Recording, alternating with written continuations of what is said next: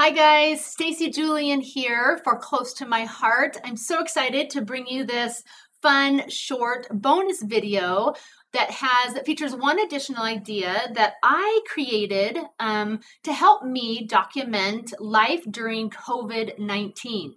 Before I dive into the project, I want to make sure that you like and subscribe and hit the little bell icon.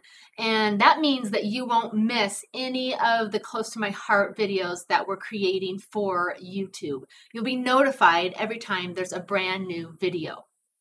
All right, you guys, this has been one heck of a year, yes? So if you haven't yet watched a much longer video class that I created with Close to My Heart, I invite you to do that because in that video, um, I really walk you through some pretty basic and doable ideas for um, documenting all the, the pictures and the thoughts and feelings and memes and newspaper clippings and all of the stuff that you may have created over the last 12 months.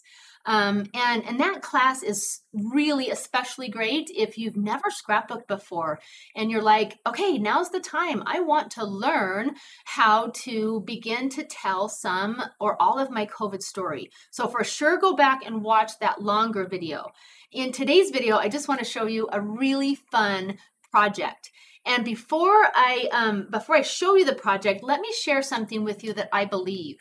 Um, storytellers and scrapbookers, we often look back and, and document, which is very appropriate and, and super awesome.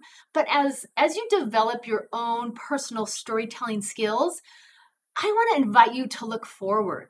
And this idea of living with intention, thinking about what's coming and how you want to live it. What is the story that you want to create so that you can then tell it? That's exactly what I did last summer, the summer of 2020, during this global pandemic. Let me show you. I called the summer of 2020 the summer of color, precisely for the reason that I wanted to make sure that I was having intentional fun with my family. And I love this album that I'm going to show you. It's a six by eight so it's a little bit smaller than a traditional 12 by 12 album, and you can fill it with memory protectors that are fully 6 by 8 or with protectors that are pocket. So you, you know, they're designed for three by four cards or four by six cards, and I'll show you that. But what's fun about a mix of page protectors in a small album like this is that it's very easy to envision and then put together a full project. I love to start, um, like most stories do, with an introduction page.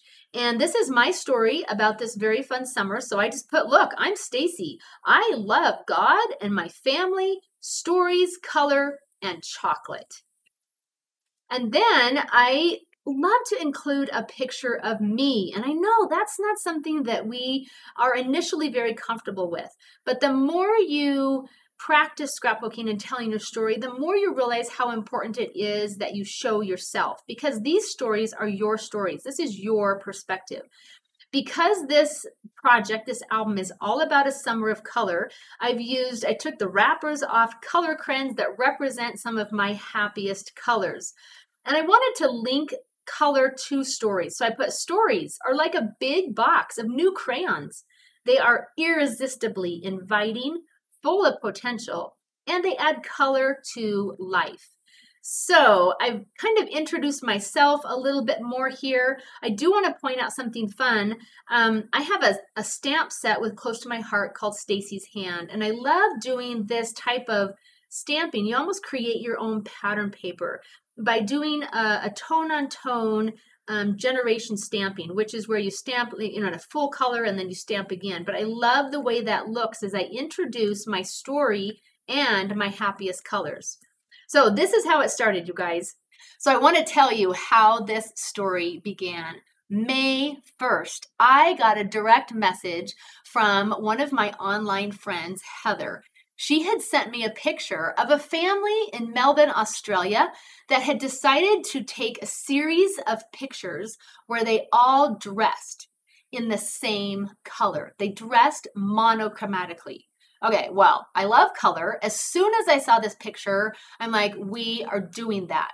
This is going to be the summer of color, and it is going to help my family have fun and distract us from some of the very heavy things that we're processing in the world. So let's take a look at how this story unfolds. You can see there's that stamping again to introduce my happiest color, red, and here's the first picture my family took. I literally said, go to your closets and find something that's red or red orange or very close to red. And we dragged a red bench in my kitchen out to the front lawn and took our first monochromatic photo. You guys, this is such a fun thing to do to intentionally think about the photos that you want to create and have as a part of your stories. Now, on the next page, I really wanted to show the contrast um, you know, the heaviness of what we were dealing with. No toilet paper, empty shelves, you know, just all this disrupt. And so that's displayed in, you know, in shades of of gray and black, and it can feel very heavy. And so by the time, you know, the 4th of July rolled around, I wanted to again take another monochromatic photo. And this time we used my happiest color of turquoise. And we had family that came to visit and once I realized how fun it was going to be to create these pictures, I invited my sister in law. I said, Do you think your family would be willing to help me create a big splash of yellow? And it's kind of funny. We stood on in front of our garage door that's a little bit yellow, and honestly, our driveway's a little bit yellow. So it was the perfect setting. And we just gathered up all kinds of crazy stuff um, around my house, and everybody's holding something or doing something. I'm sitting on my yellow bicycle, and, and again, planning and carrying out these pictures was such a fun distraction in our life. Um, we were able to say goodbye to my son who left on a mission for our church. But right before he left, we created the happiest of monochromatic photos. This is our orange photo. And again, it's just, you know, thinking about these and making a list and walking around your home and saying, oh, we've got to use that lamp. And let's not forget to grab one of our pumpkins and we're going to need a basketball. And let's go buy, you know, let's go buy two liters of orange crush soda. so it just involves everyone as we think about and plan and carry out these fun, colorful photos. The last photo we took was all green and it happened at the very end of summer everyone that had come home unexpectedly had left again, and it was just my husband and my daughter Addie, and we still had fun creating that last monochromatic photo. So, whatever you do, make sure it makes you happy. I wanted to end with just you know the kind of the first picture that we took as a family during the pandemic and then the first time we were we were able to return to church we had started to gather together again of course with social distancing and of course wearing masks but it was kind of the beginning of the end and it felt so good to gather together.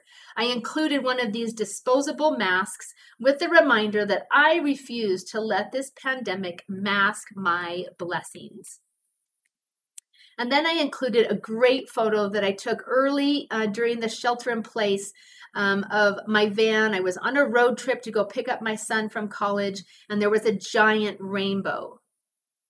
And this, again, is what I want you to know. You have to stop the van, you guys. Get out of the van and take pictures. You can only tell stories to the extent that you have illustrations from your life. So I want to give you permission in this video to have more fun with your photography and to give yourself permission to ask people to take your picture and to stop just long enough to capture a moment that you want to freeze in time. Yesterday, I was flying here to create this video and I realized I'm sitting on an airplane next to an empty seat. I'm wearing a mask and my napkin reminds me that when I'm done eating my snack, I got to put my mask back on. This is a time in history that hopefully will not repeat itself. but as the as the flight attendant came down the aisle, I just summoned my brave and I handed her my phone and she took a picture of me. These are the images that we are going to, believe it or not, want to look back on. We can be more intentional with our photo taking so that we can tell more vibrant and robust stories. The last page in my album is just me sharing some thoughts about this experience, this summer of color. I want to read you just this portion. It says, The thing that makes a story remarkable or a book so that you can't put it down is the upside down part. The part where everything falls apart and the main character has to decide what to do. Well, I decided back in May that I was going to see this whole COVID 19 thing through the lens of my happiest colors. Red would be for love and courage, turquoise for the faith to trust God, yellow for the chance to read, ask questions, and fill my mind with light and imagination. Orange, of course, is for fun, because everybody needs recess. And green is for the growth I want to keep and remember when 2020 is a distant memory. The last page is a quote and then a final picture that we took at Thanksgiving dressed in black and white. I hope you've enjoyed a peek at this fun project. I want you to know that you can scrapbook in so many different ways and that your story and your perspective matters so much. You and me and all of us are primary sources for the future when it comes to this pandemic or anything else that we experience. So come back to watch more videos from Close to My Heart so that we can teach you how to tell your story. And thanks for watching.